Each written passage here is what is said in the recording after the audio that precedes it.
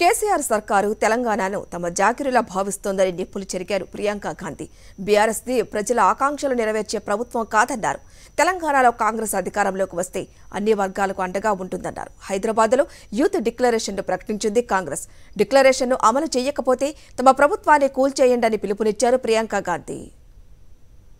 సింగమోలే కదిలేనాడు ఒక్కరో కాంగ్రెస్ సూర్యుడు తెలంగాణ అనేది కేవలం పటంలోని ప్రాంతం మాత్రమే కాదని ఇక్కడి ప్రజలకు ఈ నేల అమ్మతో సమానమని ఏఐసిసి జాతీయ కార్యదర్శి ప్రియాంక గాంధీ అన్నారు.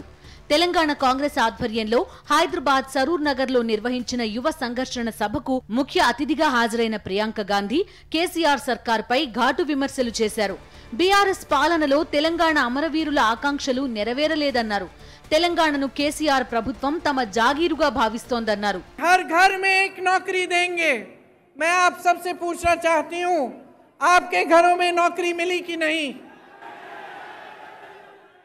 नहीं मिली नहीं कि आप एकदम जागरूक बने आजकल जैसे राजनीति यहाँ चल रही है पूरे देश में कि काम कोई नहीं कर रहा है दूसरों के काम पर अपना नाम डाला जा रहा है యువ సంఘర్షణ సభలో ఐదు అంశాలతో కాంగ్రెస్ యూత్ డిక్లరేషన్ ప్రకటించింది.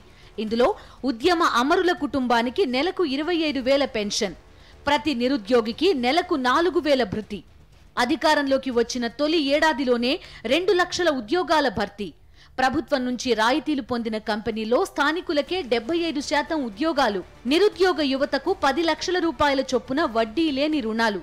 టీపీసీసీ చీఫ్ రేవంత్ రెడ్డి ఐదు అంశాలతో కూడిన యూత్ డిక్లరేషన్ ను సభలో ప్రవేశపెట్టారు निभाएंगे इसीलिए this is not agreement between youth and student this is our bond paper this is our commitment ये कमिटमेंट को पूरी करने के लिए पूरी तरह से आपका मदद चाहिए इस तेलंगाना माँ सोनिया जी ने दिए तेलंगाना माता के रूप में సోనియా జీ హే ఓ మాతాకి బేటీ నిరుద్యోగ యువతి యువకులందరూ కూడా నడుం బిగించి పిడికిలి బిగించి మరొకసారి పోరాటానికి సిద్ధమవుదాం. మన ఆశలు ఆశయాలు లక్ష్యాల్ని గుర్తించి తెలంగాణ ఇచ్చినటువంటి కాంగ్రెస్ పార్టీతో చేయి చేయి కలుపుదాం. ప్రజా ప్రభుత్వాన్ని ఇంగనం రాజ్యాన్ని తెచ్చుకుందాం మన ఉద్యోగాలు మనం కాపాడుకుందాం అని చెప్పి మీ అందరికీ నేను సవినయంగా మనవి చేస్తూ ప్రియాంకకు భట్టి విక్రమార్క పోచంపల్లి చీర ప్రదానం చేశారు. చీరల ప్రత్యేకతను వివరించారు. మరోవైపు కాంగ్రెస్ యువ సంఘర్షణ సభకు గద్దర్ కూడా హాజరయ్యారు. మొత్తం మీద తెలంగాణలో ప్రియాంక గాంధీ తొలి సభ రాష్ట్ర కాంగ్రెస్ శ్రేణుల్లో నూతనోత్సాహం నింపింది.